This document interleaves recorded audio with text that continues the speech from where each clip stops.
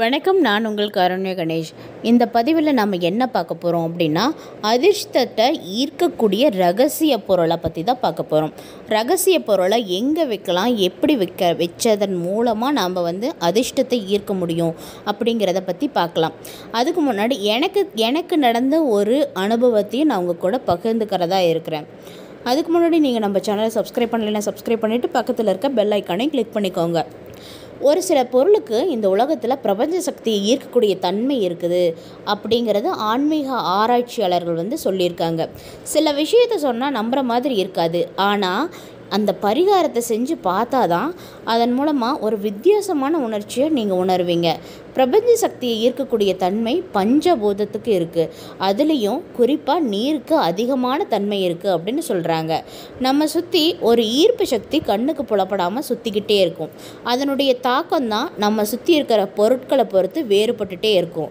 ஒவ்வொரு உலோகத்துக்கும் ஒவ்வொரு சக்தி இருக்குது அப்படிங்கிறது நம்ம எல்லாருமே தெரிஞ்சுக்கிட்டது தான். அந்த மாதிரி ஒரு சில பொருளுக்கும் நம்ம வாழ்க்கையில் மாற்றத்தை ஏற்படுத்தக்கூடிய சக்தி இருக்கிறதும் உண்மைதான். எந்த பொருளை எங்கே எப்படி வைக்கிறதன் மூலமாக அதிர்ஷ்டத்தை ஈர்க்க முடியும் அப்படிங்கிறத நம்ம இப்போ பார்க்கலாம். அதுக்கு முன்னாடி நான் எனக்கு நடந்த ஒரு இன்சிடெண்ட்டை பற்றி சொல்கிறேன் எங்கள் வீட்டில் ரொம்ப கஷ்டமாக இருந்துச்சு. அந்த சமயத்தில் ஒரு பதிவு நான் பார்த்தேன். கடவுளே எனக்கு சொன்ன மாதிரி எனக்கு ஃபீல் ஆச்சு. அந்த பதிவை படித்து நான் அதை செயல்படுத்ததன் மூலமாக அந்த அதாவது பண கஷ்டம் அப்படிங்கிறது கண் அந்த நிமிஷமே அதாவது அந் அன்னைக்கு காலையில் நான் அந்த பூஜையை பண்ணுறேன் அப்படின்னா அடுத்த நாள் காலையில் எனக்கு வந்து பண கஷ்டம் இல்லை. எங்கள் வீட்டில் வந்து பணம் வந்து எங்களுக்கு எவ்வளோ தேவையோ அந்த பணம் வந்து கிடச்சிது. இதுக்கு காரணம் வந்து நான் கடவுள் தான் அப்படின்னு நினச்சிக்கிட்டேன். அதனால் பெரியவங்க வந்து இந்த மாதிரி விஷயங்களெல்லாம் சொல்ல தான் முடியும். அதை கேட்டு செயல்படுத்துறதும் செயல்படுத்தாததும் நம்ம கையில் தான் இருக்குது உண்மையாலுமே இந்த விஷயத்தை வந்து எந் எந்த ஒரு பதிவை பார்த்தாலுமே எனக்கு வந்து நம்பிக்கை இருக்காது. ஆனால் இந்த விஷயத்தை வந்து செயல்படுத்தி பார்த்ததுக்கு அப்புறம் தான் உண்மையாலுமே நான் வந்து அதனுடைய ஃபீல் வந்து உணர்ந்தேன். என்னென்னா உண்மையாலுமே அதுக்கெல்லாம் ஒரு சக்தி இருக்குது உண்மையாலுமே நம்ம வீ நம்ம வாழ்க்கையில் ஒரு மேஜிக்கை ஏற்படுத்தக்கூடிய தன்மை அந்த அந்த பொருட்களுக்கெல்லாம் இருக்குது இந்த மாதிரி வார்த்தைகளுக்கெல்லாம் இருக்குது இந்த மாதிரி பரிகாரத்துக்கெல்லாம் இருக்குது அப்படிங்கிறத நான் உணர்ந்தேன். சரி இப்போ நான் உணர்ந்தேன். இப்போ எனக்கு தெரிஞ்ச ஒரு சில விஷயங்களை நான் உங்ககிட்ட ஷேர் பண்ணிக்கிறேன். அதை நீங்களும் உங்கள் வாழ்க்கையில் செயல்படுத்தி அதிர்ஷ்டத்தை எடுத்துக்கோங்க முதல் முதலாக நான் சொல்ல போகிறது என்ன அப்படின்னு பார்த்துட்டிங்கன்னா வெள்ளையில் இருக்கக்கூடிய மீன் உருவத்தில் இருக்கக்கூடிய ரெண்டு ஜோடி மீனை வாங்கி வச்சுக்கோங்க. அந்த இந்த உலகத்தாலான மீனுக்கு பிரபஞ்ச சக்தி ஈர்க்கக்கூடிய தன்மை இருக்குது இதை ஜோடியாக தலையணை கடையில் வச்சு தூங்கும்போது உங்ககிட்ட இருக்கக்கூடிய நேர்மறை சக்திகளை சேகரித்து பல மடங்காக பெருக்கி தரும். அதே மாதிரி எதிர்மறை சக்தி ஏதாவது இருந்துச்சுன்னா அதை விளக்கி தரும். இப்போ எக்ஸாம்பிளுக்கு ஒருத்தங்க வந்து ஒரு தொழில் தொடங்கணும் அப்படின்னு நினைக்கிறாங்கன்னு வச்சு வச்சுக்கோங்களேன். அவங்களுக்கு வந்து ரொம்ப வருஷமாக ட்ரை பண்ணிகிட்ருக்காங்க அவங்களுக்கு வந்து அதுக்கு போதிய பணம் கிடைக்க மாட்டேன்னுது. அதனால் வந்து ரொம்ப ரொம்ப துவண்டு சே இனிமேல் அந்த ஒரு தொழில் தொடங்கணும் அப்படிங்கிற ஒரு எண்ணத்தையே கைவிட்டுறாரு அப்படிங்கிறவங்க. இந்த ரெண்டு ஜோடி மீனை நீங்கள் வாங்கி தலகான கடையில் வச்சு படுத்து தூங்கும்போது சரி இந்த ஒரு தடவை நம்ம கண்டிப்பாக பண்ணி பார்த்துருவோம் என்ன ஆனாலும் சரி அப்படின்னு சொல்லிட்டு பண்ணி பார்த்தோன்னா கண்டிப்பாக அந்த விஷயம் வந்து உங்களுக்கு சக்ஸஸ் ஆகும். சக்ஸஸ் ஆகும்போது உங்களுக்கு தான் தெரியும். அப்போ தான் தெரியும். ஓ இந்த ரெண்டு மீனுக்கும் நேர்மறை சக்தி அதிகரித்து நம்மளை உந்தி இந்த வேலையை செய்ய வைக்குது அப்படிங்கிற ஒரு மனப்பான்மை உங்களுக்கு வரும். அதனால் நீங்கள் ட்ரை பண்ணி பாருங்கள் கண்டிப்பாக நடக்கும். அடுத்ததாக ஒரு விரலி மஞ்சள் துண்டு இருக்கு இல்லையா? அந்த விரலி மஞ்சள் துண்டை எடுத்து ஒரு மஞ்சள் துணியில் முடிஞ்சு உங்களோட தலகாணி கடையில் வச்சுட்டு நீங்கள் தூங்குறதுனால வாழ்க்கையில் ஏற்பட ஏற்பட்டு இருக்கக்கூடிய தீராத பிரச்சனையும் தீர்ந்து நேர்மறை எண்ணங்கள் வளரும். குடும்பத்தில் செல்வ வளம் பெருகும் லட்சுமி கடாட்சம் உண்டாகும் அப்படின்னு சொல்கிறாங்க அடுத்ததாக புதிய ரூபாய் நாணயம் ஒன்று ரெண்டு அஞ்சு இந்த மாதிரி நாணயத்தை அதை வாங்கி அதை அப்படியே ஒரு மூட்டையாக கட்டி தலகாணி கடையில் வச்சு தூங்கும்போது பிரபஞ்சத்தோட சக்தியை ஈர்த்து செல்வ வளத்தை பெருக்க செய்யும் அப்படின்னு சொல்கிறாங்க பணத்தை ஈர்க்கக்கூடிய தன்மை கொண்டது தான் நாணயம். அதனால தான் எல்லா சுபகாரியத்துக்கும் இந்த நாணயத்தை பயன்படுத்திட்டு வராங்க. இந்த மாதிரி ஏராளமான சூட்சமும் இருக்குது. அதை செயல்படுத்துறதால மட்டும்தான் அதனுடைய சக்தியை நம்மளால் உணர முடியும். அடுத்ததாக அரச மர இலைக்கு ரொம்ப ரொம்ப முக்கியமான ஒரு தன்மை இருக்குது என்னென்னா பிரபஞ்ச சக்தியை ஈர்க்கக்கூடிய தன்மை இந்த அரசமர இலைக்கு இருக்குது அரசமர இலைக்கும் ஆன்மீகத்துக்கும் தனி அதாவது அரசமர இலை அப்படின்னாவே ஆன்மீகத்தில் ஒரு தனித்துவம் இருக்குது தொழில் வியாபார வளர்ச்சிக்கு இந்த அரசமர இலையை தலகாணி கடையில் வச்சுட்டு தூங்கலாம். தொழில் வியாபாரம் இதுக்கெல்லாம் முக்கியம் என்ன?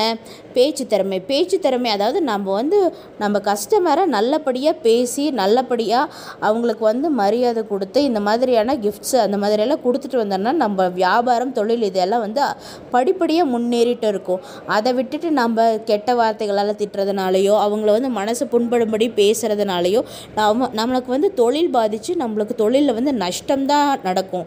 அதனால் அந்த மாதிரி இருக்கிறவங்க அரசமர இலையை நம்ம தலகாணி கடையில் வச்சு தூங்கும் பொழுது நம்மளுக்கு வந்து அந்த மாதிரி கெட்ட வார்த்தைகளெல்லாம் வராமல் நல்ல ஒரு நம்ம மனசு சேஞ்ச் ஆகி வ வியாபாரிகளை கவரக்கூடிய வண்ணம் நமக்கு வந்து பேச்சு திறமை வரும். இதன் மூலமாக நம்மளுக்கு வந்து வியாபாரம் வந்து நல்லபடியாக கொளிக்கும் அதாவது நல்லபடியாக செழிக்கும் அப்படின்னு சொல்கிறாங்க வியாபார தளத்துல எல்லாம் இந்த அரசமுறை இலையை வச்சு நம்ம வழிபட்டுட்டு வரலாம். அடுத்ததாக இரும்பு பாத்திரத்தில் தண்ணி நப்பி உங்களோட படுக்கு கடையிலையோ இல்லைன்னா கட்டிலு கடையிலையோ வைக்கிறதுனால சனி பகவானோட ஆதிக்கம் குறையும். அப்படின்னு சொல்கிறாங்க திருமண பாக்கியம் அதாவது இப்போ கல்யாணத்துக்காக பொண்ணு பார்த்துட்டு இருக்கிறவங்க கல்யாணம் பண்ணணும் அப்படின்னு நினைக்கிறவங்களெல்லாம் இந்த பரிகாரத்தை பண்ண வேண்டாம். அப்படி பண்ணுறதுனால திருமண பாக்கியம் போகும் அப்படின்னு சொல்கிறாங்க அதனால் இது மட்டும் கல்யாணம் ஆனவங்க கல்யாணம் வந்து இப்போதைக்கு செய்ய மாட்டோம் அப்படின்ட்டு இருக்கிறவங்களெல்லாம் வச்சு பண்ணும் பொழுது சனி பகவானோட ஆதிக்கம் குறையும் அப்படின்னு சொல்கிறாங்க இந்த பரிகார அதாவது நீலக்கல் மோதிரம் இருக்கு இல்லையா நீலக்கல் மோதிரம்.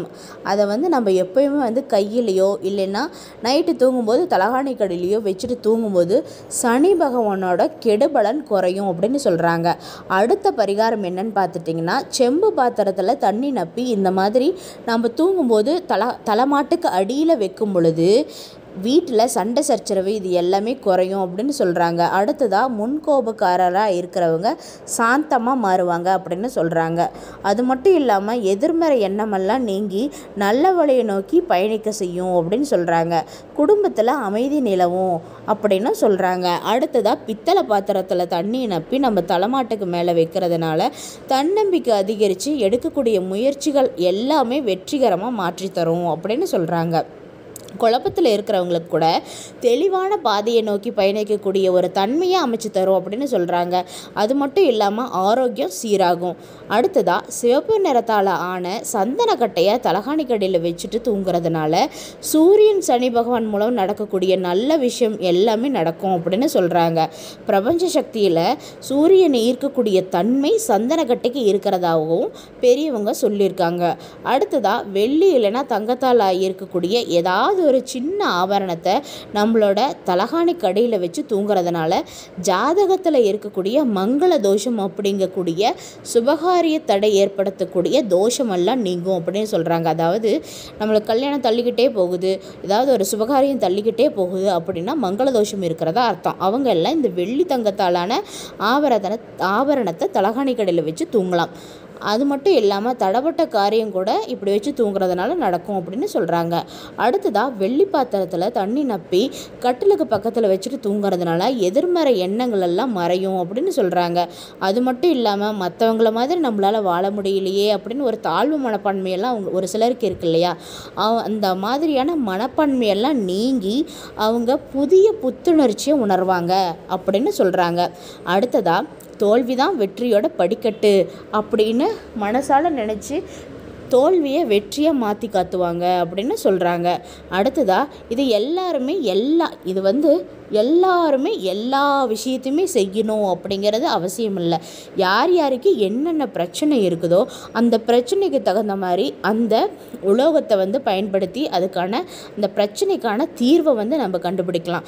அது மட்டும் இல்லாமல் பெரியவங்க இந்த விஷயத்தை பண்ணுங்க இந்த விஷயத்தை பண்ணாதீங்க அப்படின்னு ஒரு சிலர் வந்து அவங்கவுங்க குறிப்புகளில் எழுதி வச்சுட்டு போயிருக்கிறாங்க.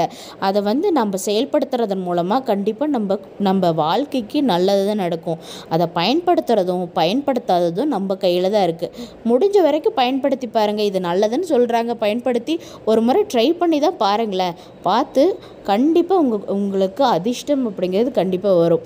இந்த மாதிரி எனக்கு தெரிஞ்ச இன்ஃபர்மேஷனால் நான் உங்களுக்கு சொல்லிட்டு வரேன். நம்ம சேனலுக்கு சப்போர்ட் பண்ணுங்கள் தேங்க்ஸ் ஃபார் வாட்சிங்